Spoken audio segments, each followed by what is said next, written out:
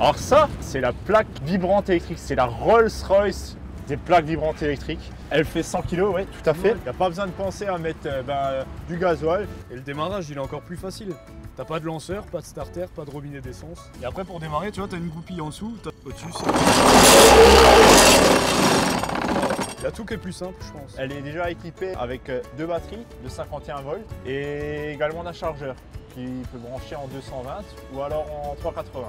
On est à 30 à 45 minutes d'autonomie en vibration, hein, bien sûr, ce qui est déjà énorme euh, sur une journée de travail. Pendant que tu bosses avec une batterie, tu peux déjà mettre à charger l'autre. Là, il faut juste que tu penses à emmener ce chargeur. Et la batterie, elle est même interchangeable.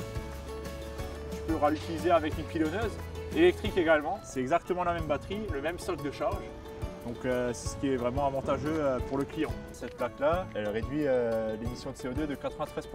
Tu pourras travailler avec cette plaque dans les espaces clos, dans tous les centres-villes actuellement où on demande de travailler avec du matériel électrique. Sympa. C'est 93% de CO2 en moins Eh oui C'est quand même les chacrunes, hein, piquer le sous.